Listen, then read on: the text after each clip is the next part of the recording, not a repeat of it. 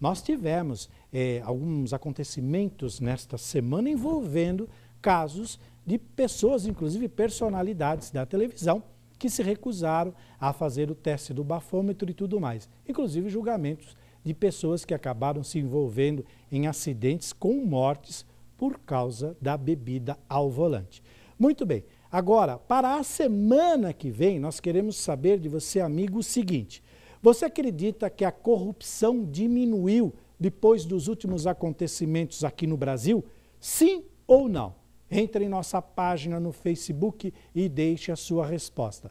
Na próxima sexta-feira, dia 18 de maio, estaremos de volta com o resultado da enquete do Opina Mais. Então, não se esqueça, a sua opinião é muito importante para a formação de um novo Brasil. Então, participe. Porque não adianta a gente ficar reclamando e não fazer nada. A gente tem que participar cada vez mais, dando opinião e principalmente agindo.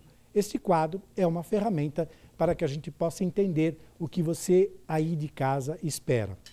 Agora, quem está aqui nos nossos estúdios para falar sobre o resultado e o tema da enquete da semana, que foi essa aqui do bafômetro, é o nosso amigo, o professor Ramon Barazal. Boa noite, Ramon Barazal. Como vai, meu querido amigo? Tudo bem? Boa noite, Gil. Boa noite, amigos de casa. Tudo bem, tudo em ordem. Que bacana. Tivemos aí a enquete, 88 sim, 12 não. Pois é. E é claro, é sempre um prazer enorme a gente ouvir o seu parecer técnico sobre esse resultado. Ô Gil, dessa vez eu estou surpreso eu com também. os números, sabe? Porque também. eu não imaginava que a gente tivesse um resultado tão acachapante assim, uhum. de pessoas entendendo que uh, deva ser obrigatório esse tipo de, de exame, de né? Exame.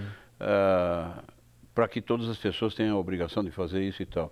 O que me chamou a atenção é que muita gente, evidentemente, desconhece a lei, porque ninguém uhum. diz a lei que ninguém é obrigado a fazer prova contra si mesmo. Pois e, é. portanto, isso, isso deveria ser o resultado mais lógico seria o, inverso, né? Todo mundo, é. inclusive, se defendendo. E aí, Gil, tem o seguinte, se você me permite, uh, muita gente que provavelmente que votou dizendo que, olha, tem que ser obrigatório, uhum. esquece de que o fato de a pessoa ter a opção de fazer ou não, isso não tira da pessoa a responsabilidade pelo não. acidente não. ou da sua culpa. Quer dizer, é, bom, eu não vou fazer o exame. A autoridade policial vai conduzir essa pessoa para a delegacia e essa pessoa pode eventualmente ser é, verificada do ponto de vista médico se realmente ingeriu ou não ingeriu bebida alcoólica, de tal maneira que a culpa dessa pessoa vai vai sobrar para ela de qualquer maneira. Portanto, não há nenhuma razão que nos garanta, olha, o fato de ser obrigatório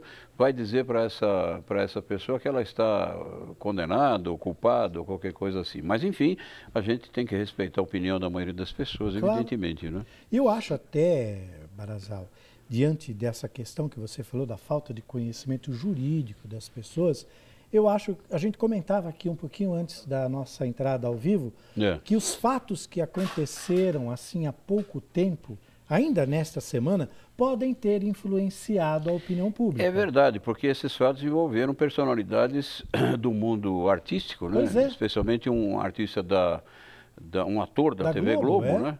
E isso, claro que exerceu alguma influência na nossa pesquisa dessa semana. Mas, de qualquer forma, eu quero insistir um pouquinho, Gil, até para tranquilizar algumas pessoas em casa, dizer o seguinte: olha, o fato daquela pessoa não ser obrigada uhum. a fazer o, o, teste no meio da rua, lá onde aconteceu o acidente, isso não tira dessa pessoa. Não a sua culpa ou qualquer coisa nessa linha. Essa pessoa será averiguada, essa pessoa será conduzida à delegacia, a autoridade policial vai abrir o inquérito, etc, etc. É. E essa pessoa poderá, ao final das contas, responder por um eventual acidente, até com, envolvendo uh, vidas e tal vidas, e coisa. É. Portanto, as pessoas em casa, os nossos amigos de casa, podem ficar tranquilos quanto a isso. Eu acho que vale a gente lembrar que na semana passada, um fato envolvendo uma jovem motorista que dirigia alcoolizada que na época se recusou a fazer o exame de bafômetro, foi condenada agora. Foi condenada, pela que morte. acabou matando um rapaz, pois etc. É, né?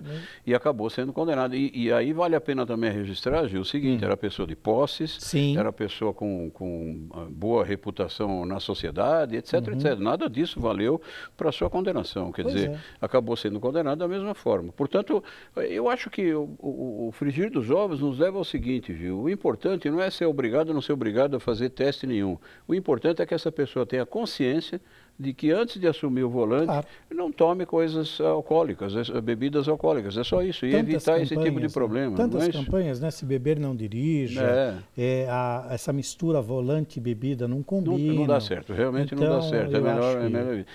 Agora, nós temos mais facilidades ainda, porque uh, em algum tempo atrás, você, para deixar o carro e ir a algum restaurante, alguma festa, uhum. você tinha que tomar um táxi, lembra Sim. disso? Hoje você tem táxi, tem uma opção de serviços Sim, via exatamente. telefone celular, que você exatamente. contrata com preços acessíveis e fala, não, eu vou lá na festa, eu vou lá no restaurante, contrata um Uber da vida, aí tá, a coisa está é. resolvida. Barazal, mais uma vez foi um prazer enorme prazer é ouvir aqui a sua opinião, sempre muito sensata, muito objetiva e que dá à luz a verdade dos Muito fatos. Obrigado. Muito obrigado. Bom final de semana. Bom final de semana. Feliz Dia das Mães para as mamães em casa e seja feliz. Obrigado, Barazal. Seja feliz, meu amigo.